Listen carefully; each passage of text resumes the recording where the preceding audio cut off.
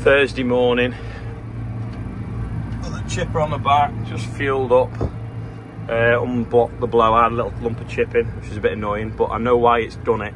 It's because the remote control, well you can't see from here actually, the aerial for the remote control, oh yeah you can, it's there. That little black thing.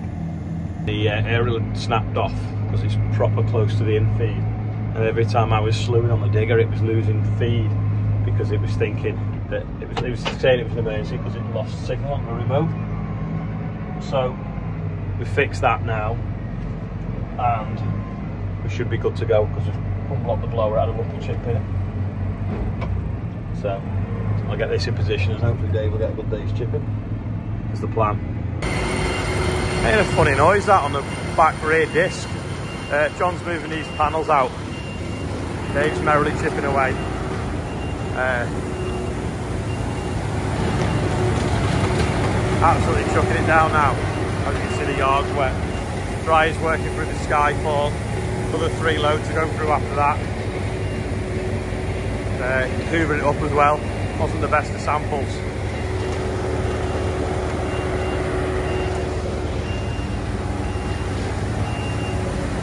Baby cramp wrap, James. So what tools to put in? Just at Rickaby's, getting some string. Uh-oh.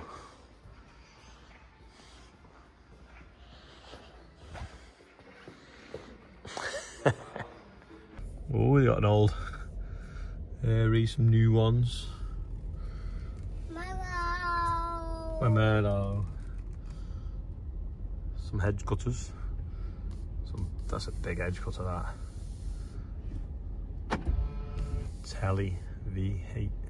It's not a digger, it's an edge cutter. I'm gonna have to strap you in now before we go home. Let's go in the shop anyway again and pay. You ready? I was convinced that when we opened the door they'd all go fall out. I'm no expert, but that doesn't look right.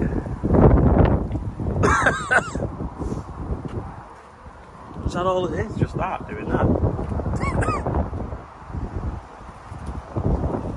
I can see why you wouldn't have a band now.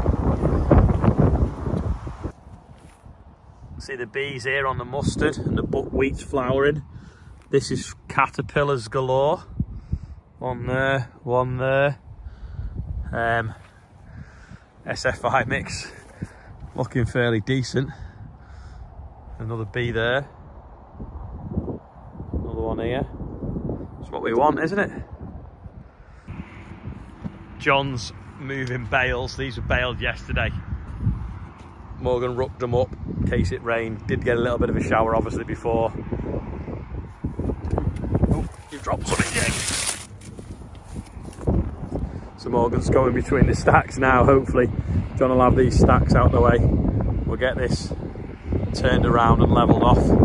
It's got some wet holes in fact he's just about to go through one. Now that's where we went through, standing water in the spring with the top down, remember? Bit easier at the moment going through it. You always tell when Morgan's driving tracks that the beacons are always on. Yeah, look at these rocks here. Oscar stood in the other day. You realise my car's there. How wide this are. Whoa! And I left it down, I think, and pulled that level. Damie's going to rough it, rough it up. You don't know, sit with the tractor because it bridges the ruts.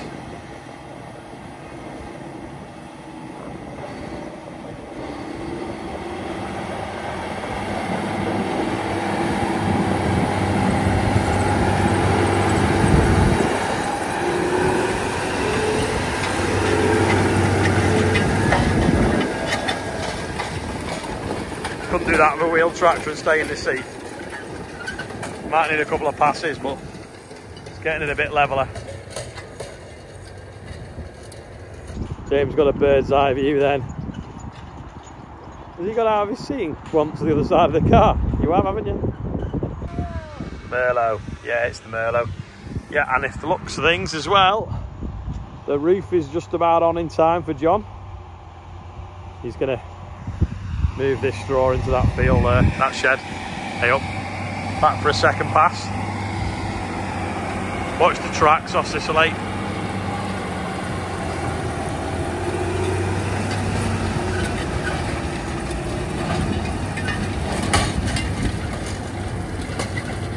That's level off now, isn't it?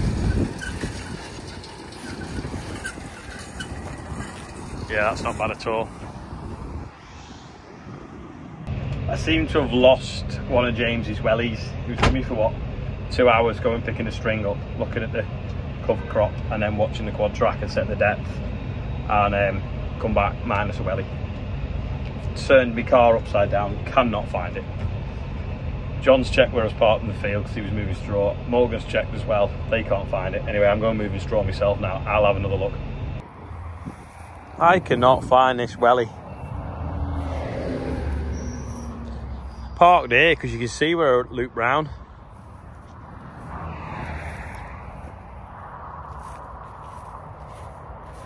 piece of plastic. He didn't even get out of the car. It's annoying because there's ultralight wellies. Just at Brook House and we're, they're going to take these nets down because they're finished now on the top. And we start stacking straw in it. They've just been putting these on. So these go round the window sheets. Um, it's like a rubber rivet. And you tighten them up from above and it just stops them like flapping in the wind. But uh, the red, so when you're walking on the roof, you can see, you see red screws, you know not to step, because it means it's a window sheet. And John get a 15 foot timber out of a 13 foot gap.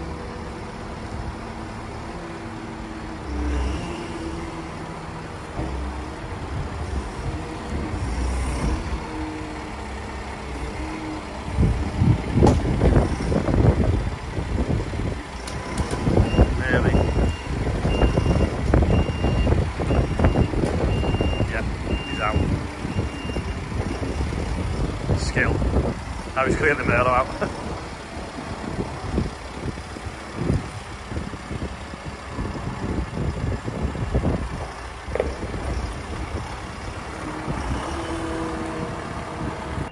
Oh yeah, and in other news, I only man looked. So Charlotte has found James's welly under the back seat of my car. I didn't even think you could put things under the back seat.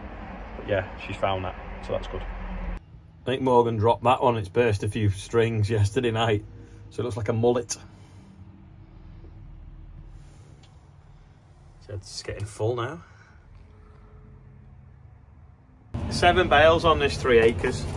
Nearly half a ton of bale, so that's three ton of straw off three acres. That's not too bad. Let's look at the depth of these tram lines though. Uh, bouncy, bouncy. Can anyone else hear that fan? Much quieter quite a few on here as well.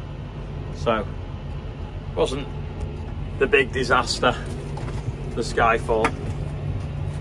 It looks nice now as well. All you can see is stubble. It's great. People have been moaning about how cold it is today and it is decidedly autumnal. But hoodies are available on the website to keep you warm. Run this into the yard now and then come back for the other two stacks. That are somewhere. We see them. Are. So rough and bumpy.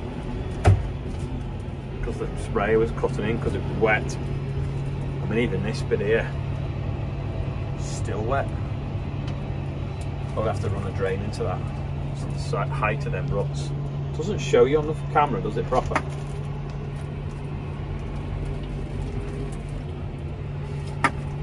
Partridge there running.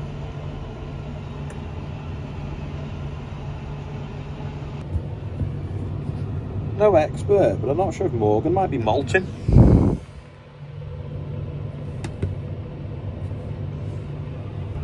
Morgan's now levelling off these ruts, which is good, and trying to pull out the plug for that water. Oh, he's got the tracks dirty. Oh. I'm have taking that tractor pulled in at the weekend. Hopefully that'll drain away now. Looks like it started to, hasn't it? disappeared from where he's gone through. That's a mighty fine tractor. I don't know who keeps folding the beacons down though. Beacon on this side's folded down again. This is the pond John made bigger in the spring. It's the reed seems to like it and it's actually not got that much water in it at the moment. Maybe we need to deepen it a little bit more. Looks smart now that roof and when it's got the cladding back on that's going to be green it'll blend right in with the trees and the fields. The lads that have been doing it they haven't half done a tidy job. All the little offcuts they've stacked up. Just just tidy. That's not our Valtra. That's Neil and Jacob come for a load of straw. So that's all pretty much strapped on now. There's one less to put in the shed to take back out again bit of expert stacking there. I don't know why the colours look so bad on a phone. It's really nice bright wheat straw, but it just looks really dull.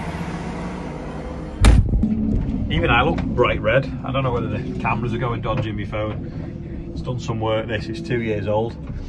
Um, but the new phone, will it come out in September maybe? Might get one new one and then they've got a new battery. I've had my haircut if anyone hadn't noticed. Uh, Birthdays day, Ollie Winter is 19, Michael Harris is 63, Kelvin Harding's on there, Will and Christina is their 10th wedding anniversary, Neil Ol Olsarker, I think it's pronounced, not an A, I think it's an O. Ollie Sarker, I think was he was he in Australia maybe, and Catherine and Rob Cohen. I think that's I think it's your wedding anniversary, 11 years as well. So happy birthday and happy anniversary to everyone on there. You can tell it's getting near a bank holiday weekend when the weddings are actually anniversaries are getting put on there. That is all for today. Uh, they've gone got quite on with a bit of chipping. Something did come loose inside, did a bit of damage, but um, we just took it out as a wear plate. It's I think it's I don't think there's any point in having it. I think we'd probably put some hard facing rods in there so that when it does come out, it doesn't damage anything in the blower. But yeah, that's all for today. Uh, don't forget tractor pulling this weekend. I'm going to try and get there tomorrow night, Saturday and Sunday. I'll be there every day, but not all the time. But I'm going to try and show my face at, at least a few times. I'm going to take the 7 to 8 tomorrow night, I think, and do a, tr a trial run to show you the difference in tyre pressures, what, what difference it means to pulling. So yeah, see you all there. Don't forget, um, go on the website, get some tickets. I think there's a code, something like Ollie5 and Ollie VIP, was it? I'll put it below, so if you want cheap tickets, you can go and do that. So thanks for watching, and I'll probably see some of you over the weekend, and see you all on here tomorrow.